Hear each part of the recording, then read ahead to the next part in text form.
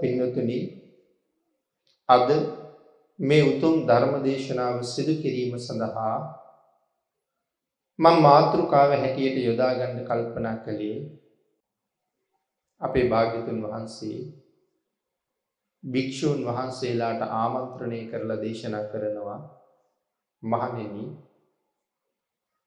මේ ලෝකේ ජීවත් වෙන බාලයා සහ පඬිතයා මනාව හඳුනා ගන්න ලක්ෂණ තුන බැගින් තියෙනවා. බාලයාගේ බාල ලක්ෂණ තුනක් තියෙනවා. පඬිතයාගේ පඬිත ලක්ෂණ තුනක් තියෙනවා. කියන කාරණාව දේශනා කරමින් තමයි මේ ධර්ම දේශනාව භාග්‍යතුන් වහන්සේ සිදු කරන්නේ. එතකොට මේ සමාජයේ අපිට මේ ධර්ම කාරණාවට අනුව මනාව හඳුනගන්න පුළුවන් බාලයන් කවුද පඬිතයන් කවුද කියලා. මෙතන බාලයන් කියලා සඳහන් කරන්නේ වයසින් බාලයන් පිළිබඳව නෙවෙයි. ඊළඟට පින්නතුනි සමාජයේ දිහා බලනවා වගේම තමන් පිළිබඳවත් කල්පනා කරන්න ඕනේ මේ ලක්ෂණ වලට අනුව මම ඉන්නේ කොතනද කියලා. ඒකට අනුන් දිහා බලන්න කලින් තමන් ගාව ඉඳලම බලන්න ඕනේ. එහෙනම් බාලයාගේ ලක්ෂණ තුනක් තියෙනවා. මොනවද බාලයාගේ ලක්ෂණ? මහණෙනි මේ බාල පුද්ගලයා කයින් දුසිරිත කරනවා. වචනයෙන් දුසිරිතෙහි යෙදෙනවා. නැත්නම් ඔහුගේ වචනත් දුෂ්චරිතයට බර. සිතින් ඔහු දුසිරිතෙහි යෙදෙනවා. කායිකව දුසිරිතෙහි යෙදෙනවා. වාචසිකවත් දුසිරිත පාවිච්චි කරනවා. මානසිකවත් දුසිරිත ආකාරයෙන් නොගැලපෙන ආකාරයෙන් කියන කාරණා තුන භාග්‍යතුන් වහන්සේ දේශනා කරනවා. එතකොට මොනවද කායික දුෂ්චරිත? අපි කයින් කරන වැරදි තුනක් තියෙනවා. වචනයෙන් කරන වැරදි හතක් තියෙනවා. සිතින් හිතන වැරදි නැත්නම් සිතින් කරන වැරදි තුනක් තියෙනවා. ප්‍රාණඝාතය, අදත්තාදානය, කාම මිත්‍යාචාරය. කායික දුෂ්චරිත ගණයේ තියෙනවා. මුසාවාදේ, පරුස වචනේ, පිසුණු වචනේ, සම්පප්‍රලාපය, වාචික දුෂ්චරිත හැටියට තියෙනවා. අවිද්‍යාව, ව්‍යාපාදය, මිත්‍යා දෘෂ්ටිය සිතින් කරන දුසිරිත් අතර තියෙනවා. එතකොට මේ සමාජයේ මේ සිතින් කයින් වචනයෙන් කියන ත්‍රිදුරින් වැරදි කරන පුද්ගලයන් අපි දකිනවද? ඔවුන් සියලු දෙනාම භාග්‍යතුන් වහන්සේගේ දේශනාවේ හැටියට බාල පුද්ගලයෝ. අපේ බුදුරජාණන් වහන්සේ මේ ධර්මය අපට දේශනා කරන්නේ මොනතරම් දීර්ඝ කාලයක් මේ සංසාරේ කැපකිරීම කළාද? තමන් වහන්සේගේ අතට ලැබුණ නිවන. දීපංකර පාදමූලයේ නියත විවරණ ලබන වෙලාවේ දීපංකර සම්මා සම්බුදුරජාණන් වහන්සේ හතර පද ගාථාවකින් අනුශාසනා කළා නම් දෙවැනි ගාථා පදයේ දේශනා කරලා තුන්වැනි ගාථා පදයේ දේශනා කරන්නත් කලින් සිව්පිලි සෙමියා සහිතව සියලු අභිඥා සහිතව මහ රහත් භාවයට පත් වෙන්න තරම් මහා වාසනා ගුණයක් තිබිලා. ඒ අවස්ථාව අත්හැරි ඔබ මම අපි වගේ මේ සසර දුක් විඳින අහිංසකයන් පිළිබඳව අනුකම්පාවෙන් ඒ අවස්ථාවෙන් පස්සේ තමන් වහන්සේට තනියම මේ සංසාරයෙන් එතර වෙන්න ලැබිච්ච අවස්ථාව කෝටි ප්‍රකෝටි ගණන් උන්වහන්සේ අත්හැරියා. මහා කල්ප අසංඛ්‍ය 4 ලක්ෂ එකක්. මේ තරම් අති දීර්ඝ කාලයක් මේ සංසාරේ වචන වලින් කියලා ඉවර කරන්න බැරි තරම් මහ දුකක් වින්දා. ඒ සම්මා සම්බුද්ධත්වයේ වෙන්නේ ලෝක සත්වයා සංසාරයෙන් එතර කිරීම වෙන්නේ. ඒ අනුව කල්පනා කරලා බලනකොට මේ සෑම බණ පදයක් පදයක් ගාන අපිට දේශනා කරන්න එක වචනයකට උන්වහන්සේ මේ සසර කොයිතරම් දුක් තියෙනවද? එක වචනයක් වෙනුවෙන් මේ සංසාරේ කොච්චර දුක් විඳලා තියෙනවද? අපි වෙනුවෙන් එහෙම කැපකිරීම කරපු වෙන කවුරුවත්ම මේ ලෝක ධාතුවේ නැහැ. ඒ නිසා භාග්‍යතුන් වහන්සේ මනාව ਸਰවඥතා ඥාණයෙන්ම ප්‍රත්‍යක්ෂ කරගෙන මේ සංසාරේ ස්වභාවය තමයි මේ සූත්‍රයෙන් පැහැදිලි කරලා තියෙන්නේ. ඉතින් ඒ නිසා භාග්‍යතුන් වහන්සේගේ වචනයට අනුව ශ්‍රද්ධාව උපදවල භාග්‍යතුන් වහන්සේගේ දේශනාවට ගරු කරලා අපේ ජීවිත නිවැරදි කරගන්න අපි රෑදවල් වෙහෙසින්න ඕනේ. මොකද මේ කැපකිරීම අපි නිසා. එහෙමනම් මේ බාලයාගේ බාල ලක්ෂණ අපි ළඟ තියෙනවා නම් අපි වහාම මේ දුර්ගුණ වලින් ඉවත් වෙන්න කල්පනා කරන්න ඕනේ. ඒක හැබැවින්ම අපේ සසරට යහපතක් වගේම ඒක භාග්‍යතුන් වහන්සේට කරන මහා උපහාර පූජා. භාග්‍යතුන් වහන්සේගේ මේ වීරිය කැපකිරීමට අපි කරන මහත් වූ ගෞරව දැක්වීමක් බවට පත් වෙනවා.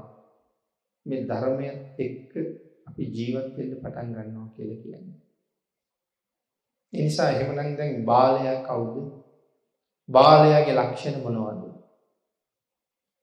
ඔහු සිතින් නැත්නම් කයින් වචනයෙන් සිතින් මෙත්තිදොරින් වැරදි කරන පුද්ගලයා.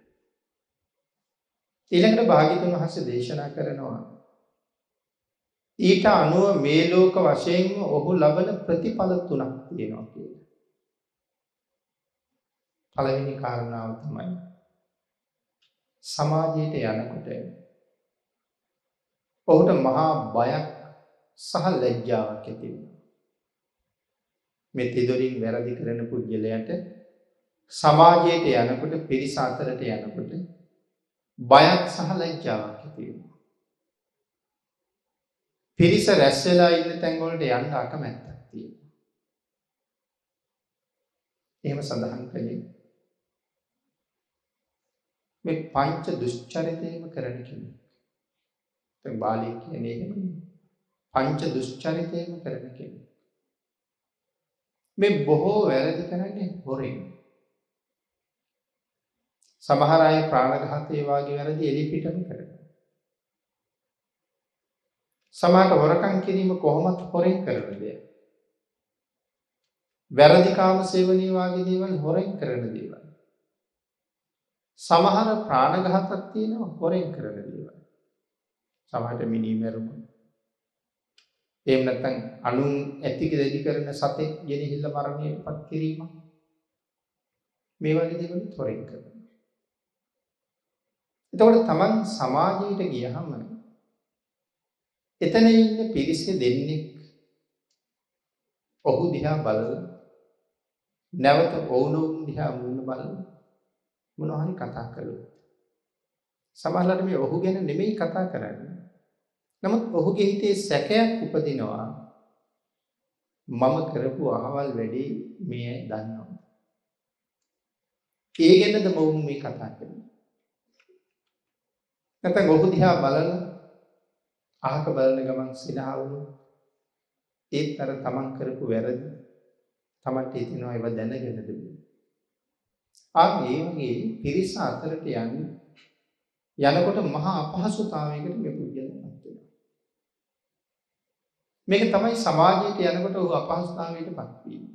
තව ඉතින් ඒ සම්බන්ධයෙන් ඕන තරම් කරුණු ප්‍රකාශ කරන්නත් පුළුවන්. තමුණුත් එහෙමනම් ඒ වගේ අත්දැකීම් Tamanට ඕන තරම් තියෙනවා. එහෙනම් කෙනෙකුට කේලමක් කියලා තිබුණොත් පෞල් ආරවුල් ඇති කිරීමක් කරලා තිබුණොත් මේ වගේ දේවල් සම්බන්ධයෙන් පස්සේ කාලේ ඒ වගේ ප්‍රශ්න ගැටලු වලට ඔහු මුහුණ පානවා සමාජය තුළ. මේ තමයි ලබන පළවෙනි ප්‍රතිඵලය. දෙවෙනි ප්‍රතිඵලය තමයි සමාජයේ ඔහුට දකින්න ලැබෙනවා රජ්ජුරුව සමහර අයට කරලා තියෙන දඬුවම්. අතීතයේ වැරදිකාරී රජ්ජුරුවන්ට මුණ ගැහුනහම රජ්ජුරුව දෙතිස් වද බන්ධනයකට ඔහු ගොදුරු කරනවා. එතකොට ඒ වාගේ වද බන්ධනයන්ට ලක් වෙලා ඉන්න අය දැක්කහම මේ පුජ්‍යලයට බොහෝම බය හිතෙනවා මමත් රජ්ජුරුවන්ට අහු වුණොත් රාජපුරුෂෝ මමත් අල්ලගෙන රජු ඉදිරියට පැමිණෙව්වොත් මට මේ වගේම දඬුවම් විඳින්න සිද්ධ වෙනවා.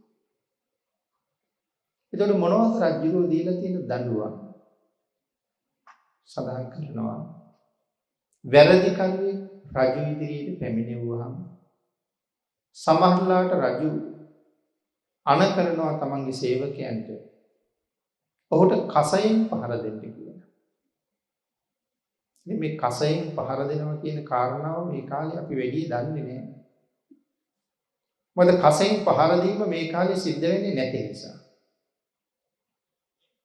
සඳහන් කරන්නේ මේ කසයෙන් පහර දුන්නාම හැම ගැලවිලා ඒ කසේට එනවා.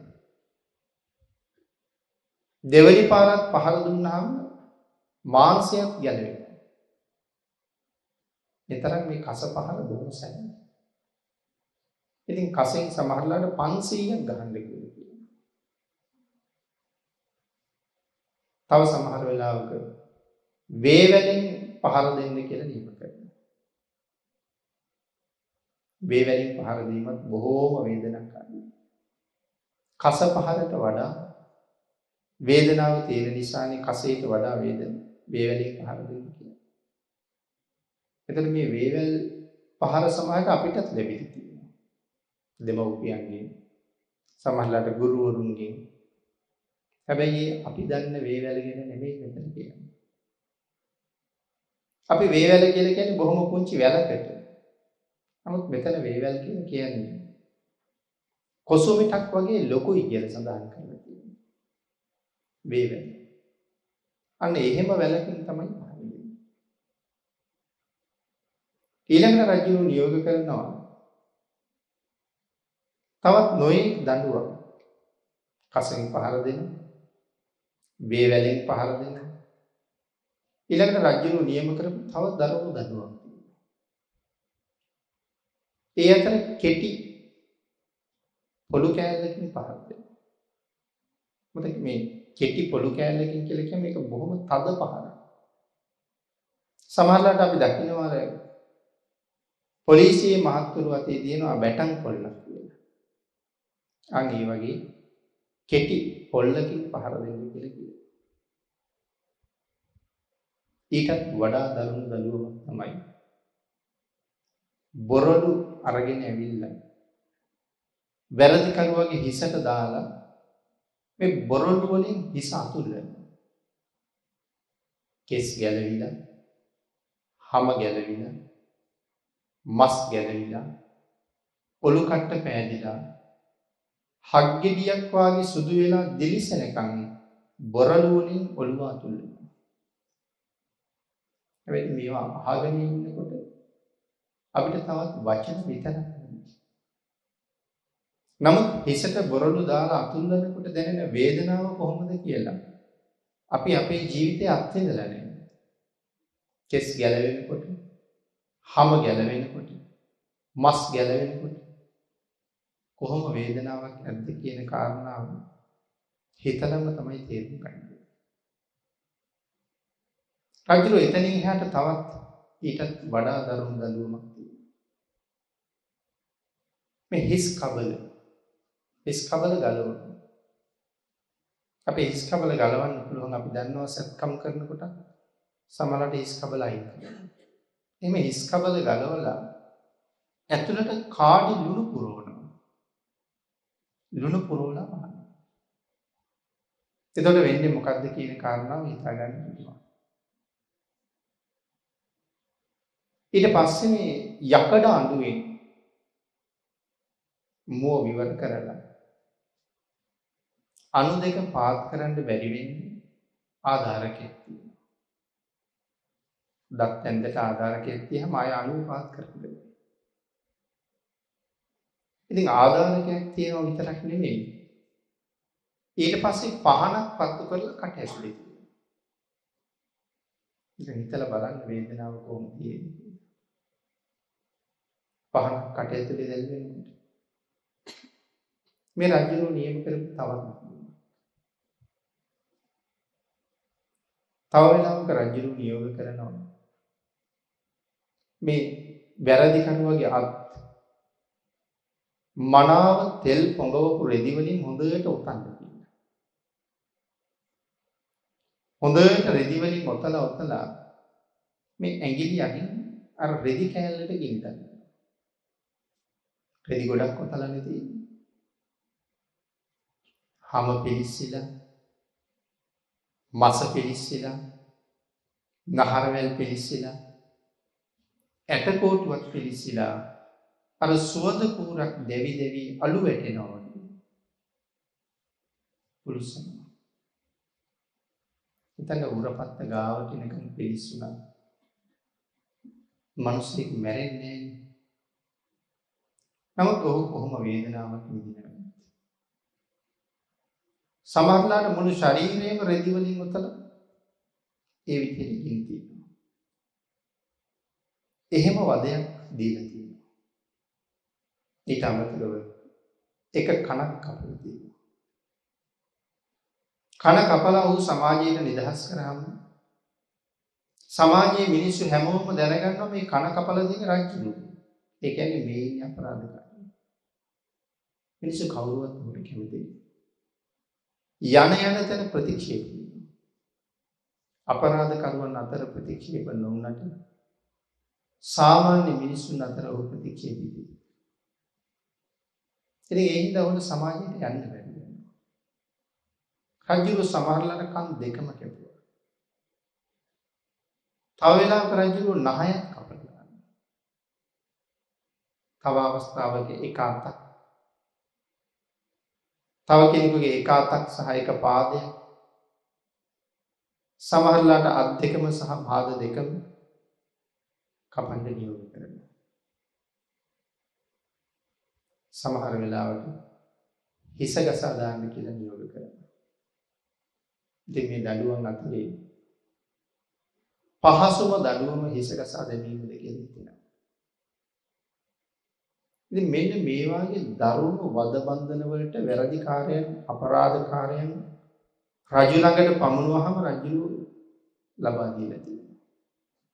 එතකොට ඒ දඬුවම් වලට සුදුසු බාල ක්‍රියාවල යෙදෙන යම් පුද්ගලයෙක් ඉන්නවා නම් මේ දඬුවම් කරලා තියෙනවා දැක්කහම ඔහුට මහා බයක් හිතේ උපදිනවා මමත් මේ වාගේ වැරදිවලට සුදුසුකම් තියෙන කෙනෙක්. හැබැයි රජුට රාජපුරුෂයන්ට මම අහුවුණොත් මටත් අනිවාර්යෙන් මේ වාගේ දඬුවම් වලට ලක් වෙන්න සිද්ධ වෙනවා. ආන් ඒ නිසා ඔහු සමාජයෙන් වහන් වෙලා නිතරම මහ බීතියෙන් තමයි පසු වෙන්නේ. ඒ බාලයා මේ ලෝකේ ලබන දෙවනි ප්‍රතිඵලය. තුන්වෙනි ප්‍රතිඵලය තමයි ජීවිතය අග්නිස්සර වීම. වයෝවෘද්ධ තත්ත්වය නිසා බොහෝ දෙනා එක්තැන් වෙනවා. ඇවිද ගන්න බැරි වෙනවා.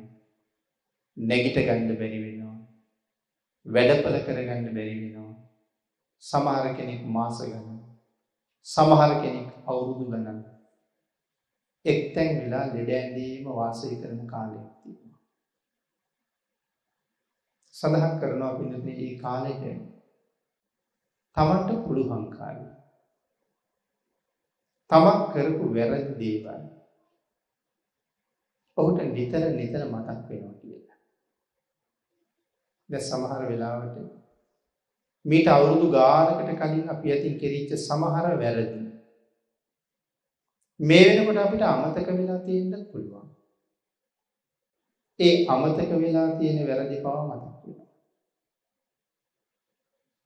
කොයි වගේද කියලා සඳහන් කරනවා. ඉර බැහැන යනකොට.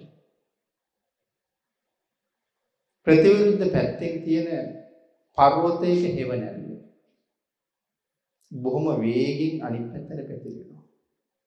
සූර්යයා බැහැලා යනකොට හෙවණැල්ල අනිත් පැත්තට බොහොම වේගෙන් පැතිරිලා යනවා. මොකද සූර්යයා ඒ තරම් වේගෙන් ගිලිනවා. ආන්නේ සෙවණැල්ල යම්සේ පැතිරිලා යනවද මේ එක්තැන් වුණ කාලෙට තමන් කරගත්ත වැරදි. තමන්ට ආපහු ආපහු මතක් වෙන්න පටන් ගන්නවා. හැබැයි මතක් වෙන එක මොහොතක්වත් ඔහුට සතුටුදායකද? සමහර වෙලාවට වැරදි කරනකොට hina වෙවි කරනවා. සතුටු වෙවි කරනවා. මහා ලොකු වීර ක්‍රියාවක් කළා වගේ තමන්ගේ අයත් එක්ක කතා කළා. ඒක නිදේශනා කළේ මදුවා මඤ්ඤති බාලු මේ බාලයට පව් කරනකොට හරියට නිකන් මී පැණි අනුභව කරනවා වගේ දැනෙනවා. වීදාගම මහා මෛත්‍රී හාමුදුරුවෝ භාග්‍යතුන් වහන්සේගේ මේ දහම් පදයෙන් කරන කලට පව් මිහිදිය මීසේ කියලා සඳහන් කරනවා. පව් කරන කාලේ හරි මිහිදිය. නමුත් ආපහු ආදීනව සිහිපත් වෙනකොට ඒක කියාගන්න බැරි මහා දුකක් බවට පත් වෙනවා. ඒක වෙන කාටවත් කියන්නත් බෑ සමහර දුක්. මොකද තමන් කරපු සමහර වැරදි සමහර ඒවා බිරිඳට හොරෙන් කරපු වැරදි.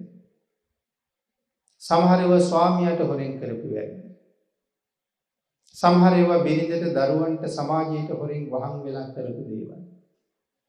දැන් කාට වහන් වුණා? තමන්ගේ හිතට වහන් වෙන්න බෑනේ. ඒ නිසා තනියම කල්පනා කර කර තනියමම විඳවනවා. පින්නතේ අනිත් කාරණාව තමයි අපි වයසට ගිහිල්ලා ওই වාගේ තත්වයකටපත් වුනහම අපේ දරුවෝ බොහෝසේ අපිට උපකාර කරනවා. නමුත් 24 පැයම දරුවන්ට අපි ගාවට වෙලා ඉන්න බෑ.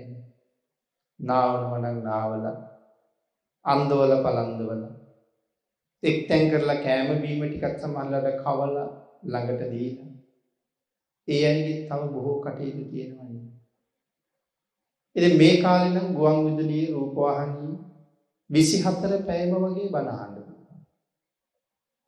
ඉතින් මේගොල්ලෝ කරන හොඳම වැඩේ තමයි ධර්ම දේශනාවකුත් ශ්‍රවණය කරන්න අවස්ථාව සලස්සලා දීලා තම තමන්ගේ වැඩවල යෙදෙනවා. නමුත් මේ දේශනාව ඇතුලේ මනුස්ස ජීවිතයක තියෙන දුර්ලභ බව මනුස්ස ජීවිතයක තියෙන වටිනා බව බුද්ධෝත්පාදයක තියෙන දුර්ලභ බව. බුද්ධෝත්පාදයක ලබාගත් මනුස්ස ජීවිතයක තියෙන ශ්‍රේෂ්ඨත්වය. අකුසල් වල විපාක. කුසලයේ විපාක. මේ සියලුම දේවල් පැහැදිලි කරමින් දවස පුරාම ධර්ම දේශනා විකාශනය වෙනවා. ඔබ හිතනවද බාලයෙකුට මේ ධර්ම දේශනාව අහන සැනසෙන්න පුළුවන්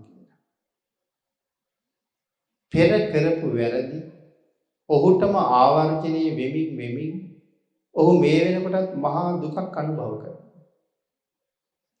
හැබැයි Tamanට වැටහෙනවට වඩා මේ දේශනාව තුළින් ඒ ගැන කරුණු කියවෙනකොට මේ වටිනා ජීවිතයක් මටත් තිබුණා. ශ්‍රේෂ්ඨ වූ බුද්ධාන්තරයේ මටත් ලැබුණා. නමුත් මට ඒ ඵල ලබන්න ඵල නෙලන්න බැරි වුණා. දැන් නම් මහා ලොකු ආසාවක් ඇති වෙනවා සිල් ගන්න. දැන් පුදුමාකාර ආසාවක් ඇති වෙනවා බුදුන් වහන්සේ. කියා ගන්න බැරි තරම් ආසාවක් ඇති වෙනවා දන් දෙන්න. නමුත් දැන් නැගිටලා යන්නද? දුවල පැනල කරන්නද? නමුත් දැන් කොච්චර හිතේ ආසාව උපන්නා. ඒ දේවල් කරගන්න පුළුවන්කම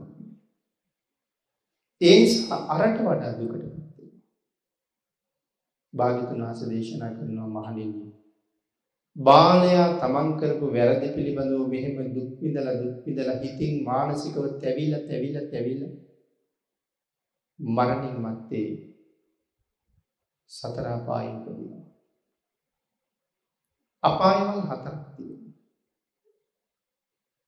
නරකය, තිරිසන් අපාය, ප්‍රේත අපාය, අසුර අපාය කියලා.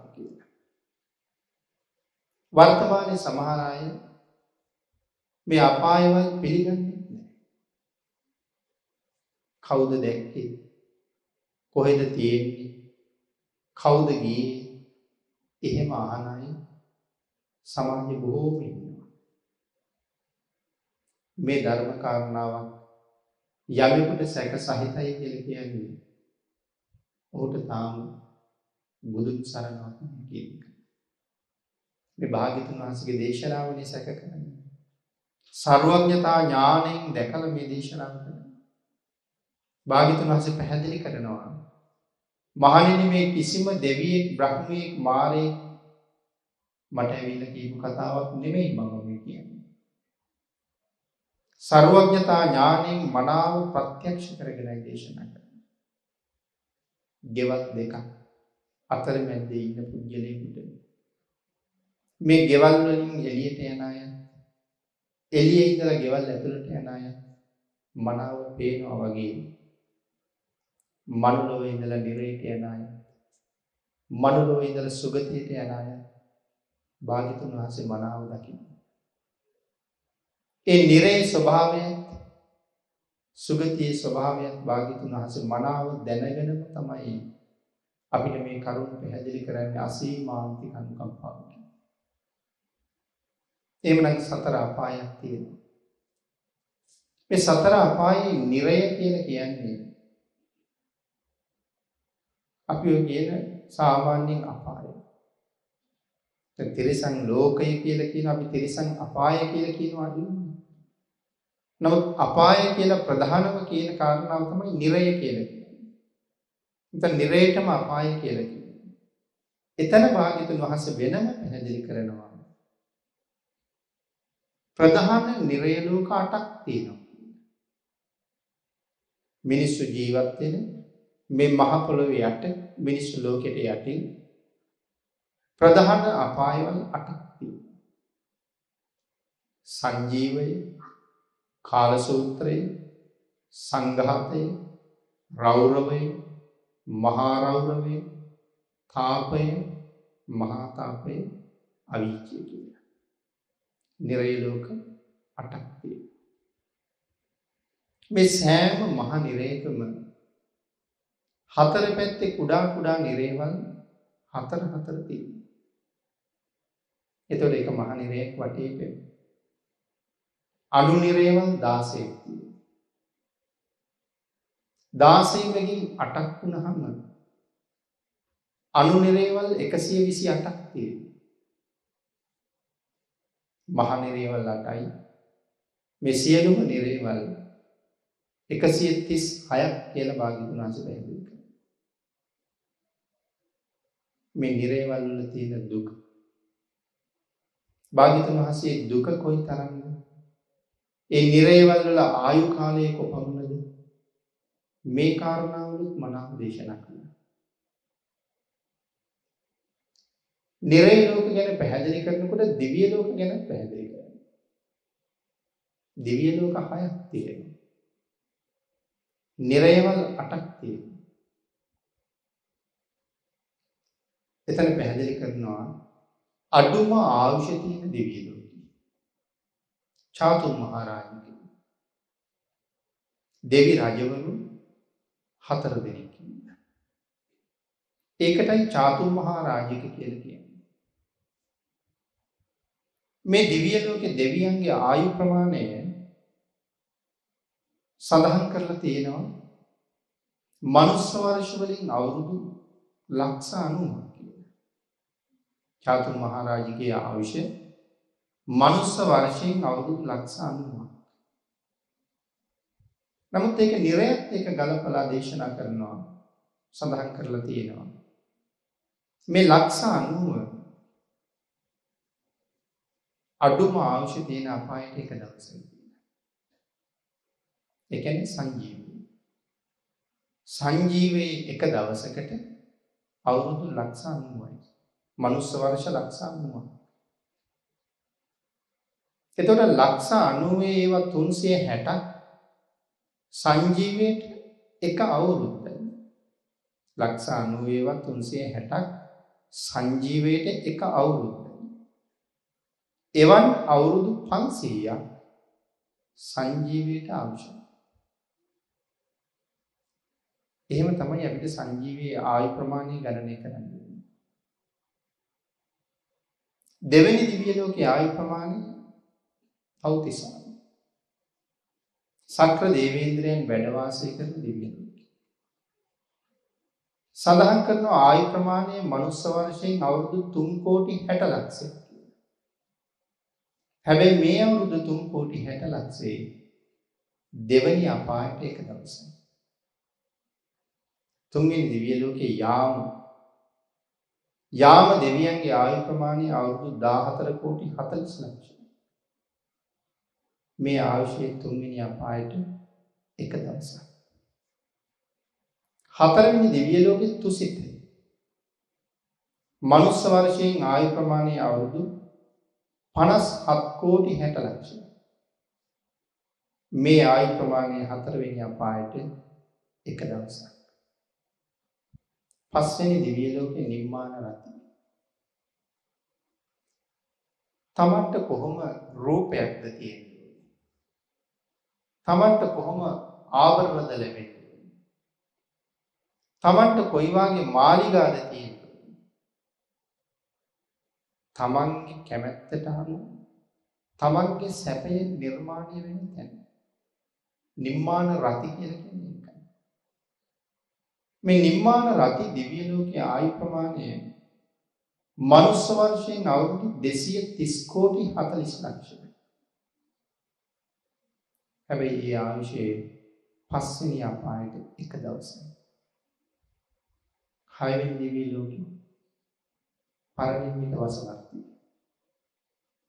මනුස්ස වර්ෂයෙන් ආයු ප්‍රමාණය අවුරුදු 921 කෝටි 60 ලක්ෂයි. මෙන්න 6 වෙනි අපායට එක දවස. දිව්‍ය ලෝක තියෙන 6යි. හැබැයි අපායවල 8යි. ප්‍රධාන වශයෙන්. හත්වෙනි අපායේ ආයු කාලය දක්වලා තියෙන අන්තර්කල්ප භාගයයි කියන්නේ. අටවෙනි අපාය අවීචි. අවීචයේ ආයු ප්‍රමාණය අන්තර්කල්ප 1යි. සඳහන් කරනවා අන්තර්කල්පයකට මනුස්ස වර්ෂ කොච්චරක් තියෙනවද? අසංඛ්‍ය 86 ලක්ෂ 40000 අසංඛ්‍ය කියලා කියන්නේ එකයි බිඳු 140කින් ලියන ගන්න. එතකොට එක එකයි බිඳු 140 ඒවා 86 ලක්ෂ 40000 අවීචී ආයුෂ ඒකෙන් භාගයක් හත්වෙනි අපායට අංශය. එතකොට මේ නිරේවල් වල තියෙන ආයු කාලය කොච්චර දිගයි? නමුත් මිනිස්සු පින්කම් කරලා ගිහිල්ලා සැප විඳින දිව්‍ය ලෝකවල ආයු කාලය මීට සමානව කොයිතරම් අඩුයි. එතකොට මේ අපායවල කියලා කියන්නේ පින්නතනේ දැන් මරුණොත් උපදින්න තියෙන තැන. දැන් හුස්ම ටික ගියොත් උපදින්න තියෙන තැන. වැඩි වෙලාවක් යන්නේ නැතුවම උපදින්න පුළුවන්. ඒ කියන්නේ ඇහි පිල්ලම් ගහන මාත්‍රයෙන් මෙහෙන් ප්‍රාණවායුව පිට වෙනවත් එක්කම පහළ වෙන්න තියෙන තැන. බැලලා බොහෝ කල් ගිහින් උපදින්න තැන. ඉතින් ආ එවන් නිරේවල් වල උපදිනවා මේ තිදොරින් වැරදි කරපු බාල පුද්ගලයා. පින්නතේ සඳහන් කරනවා මේ අවීචය වාගේ මහ නිරේවල්. නිරිසත්තුන්ගෙන්ම පින්නතියි. හැම නිරයක්ම හරියට සත්වයාගේ මහදුපත වගේ. උඩින් අබ දැම්මොත් බිම වැටෙන්නේ නැති තරම්. එහෙම නැත්නම් තව උපමාවක් සඳහන් කරනවා. අපි ඊයන් ගොනු කරලා කිසියම් නලයකට වැක්කුණු. ඒ නලය අතුරු සිදුරු නැතුව ඊයන් වලින්ම පිරෙනවා. අන්න ඒ වගේ මේ මහ නිරේවල් අතුරු සිදුරු නැතුව නිරිසත්තුන්ගෙන් පිරීලා තියෙනවා. මොකද ලෝකේ සිතෙන් කයින් වචනයෙන් යහපත් දේවල් කරන අය අඩුයි. අයහපත් දේ කරන අය තමයි වැඩි. තව විදිහකට සඳහන් කළොත් ලෝක ජනගහණයෙන් වැඩි ප්‍රමාණයක් බාලයි කියනයි. සුළුතරයයි පණ්ඩිතයි. ඒද මේ නිරේවල් හැමදාම පිළිලදී. යම් කෙනෙක් නිරේට ගියහම මුලින්ම පංච වදයකට භාජනය කරනවා කියලා සඳහන් කරනවා. මේකේ තව දීර්ඝ විස්තර දේවදූත සූත්‍රයේ පැහැදිලි කරලා තියෙනවා. බුද්ධාන්තරයක ලැබුණු ශ්‍රේෂ්ඨ මනුෂ්‍ය ජීවිතයක මනාව සාධාරණයක් කරනවා. ඒ ජීවිතය හොඳ අර්ථ සම්පන්න ජීවිතයක් බවට පත් කරනවා. ඒක කරගන්න ලෞතුරා බුදු වෙන්න මේ තරම් වීර්යයක් වඩන අපිට මඟ කියලා දුන්නා නම් ඒ සකල ලෝක සත්‍යයම වෙනුවෙන් භාග්‍යතුන් වහන්සේ වීර්ය වැඩි මට මම වෙනුවෙන් වීර්ය වඩන්න බෑද කියලා මගෙන් මහන්නවා වීරවරු ගැන මේ ලෝකේ අපි හරියට කතා කරනවා සතුරන් දහසක් මරලා සතුරන් ලක්ෂයක් මරලා කෙනෙකුට වීරිය මේ ලෝකේ තවත් නොයෙක් වීරවරු ඉන්නවා.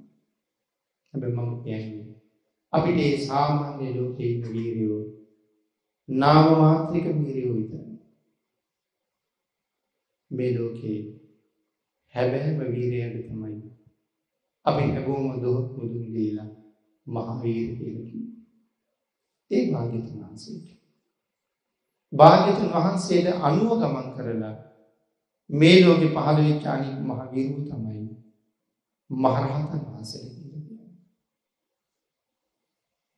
එහෙනම් ඒ භාග්‍යතුන් වහන්සේගේ සිව්වනක් පිරිසට අයිති වෙලායි මම කිව්වේ අපි හැමෝම මහ සෙබලෙක් බවට පත් වෙනවා කවුරු නසන්නද සෙබලෙක් වෙන්න ඕනේ අනුන් නසන්න නෙවෙයි තමන් සතු කෙලෙස් නසන්න සීයක් දාහක් මරලැවෙල්ල මහවීරයෙක් වුණත් මං කියන්නේ ඔහු බාහිර සතුරන්ට හානි කරලා තමන් වීරයෙක් වුණාට ඔහු ඔහුට මරාලා ඉන්නේ. මේ අතීතයේ හිටියේ එහෙම අය. නමුත් තමන්ට මරාලා තාම බැරි වුණා බුදු පේන කරමත් ගන්න. තාම බැරි වුණා රාරක් මොනේ තාම බැරි වුණා වැරදි කාම සේවනය කරන එක නවත්තන්න. තාම බැරි වුණා හොරකම් කරන එක නවත්තන්න. ඔව් වීරයෙක්. ආන්නේ කෙලෙස් සතුරන් පරාජය කරගන්න පුළුවන් වුණ දවසට එදාටයි ඔහු වීරයෙක්. නම් ඔබට පංචශීලයවත් ආරක්ෂා කරන්න පුළුවන් වුණ දවසට ඔබත් මේ ලෝකේ හැබෑම වීරයෙක්. ආන් එදාට පුළුවන් අභිමානවත් විදිහට මරන්නට පත් මෙවන් ශ්‍රේෂ්ඨ බුද්ධාන්තරයක ඉපදිලා මේ වාගේ සුන්දර නිර්මල රටක ඉපදිලා ශ්‍රේෂ්ඨ රටක ඉපදිලා මේ කාලේ ලංකාව ජීවත් වෙන්න ඉච්චර හොඳ නැති එහෙම තමයි හුඟක් අය හිතන්නේ. ඒ බණ අහන්න නැති අය. ඒ හින්දා අපි ජීවත් වෙන්න හොඳ රටවල් හොයාගෙන ම්ලේච්ඡයන් ඉන්න ප්‍රදේශ වලට යන්නේ. නොකල්ලාට එකේ පින්කම් කළ හැකි. එතන සඳහන් කළා ප්‍රත්‍යන්තය පින් කරන්න බැරි තැන. කෝටි ලක්ෂයක් සක්වලේ අගනුවර වගේ ලංකාව. එක භාග්‍යතුන් වහන්සේගේ දේශනාවේ මනාව හවුරු වෙනවා. කෝටි ලක්ෂයක් සක්වලට අදිෂ්ඨාන කරපු මහා ධාතුන් වහන්සේලාගෙන් හත් නමින් හතර නමක් අපිට ලැබුණේ මොන කරුණාවක් අපි කෙරෙහි තිබුණ නිසාද? කෝටි ගණන් අධිෂ්ඨාන කරපු ධාතුන් වහන්සේලාගෙන් මේ කෝටි ලක්ෂයක් සක්වලේ වැඩියෙන්ම භාග්‍යතුන් වහන්සේගේ ධාතුන් වහන්සේලා යම් තැනක රැස් වුණා නම් ඒ ලංකාවේ මහ මෙවුනාව මහසය ඇතුළු අද වැඩි.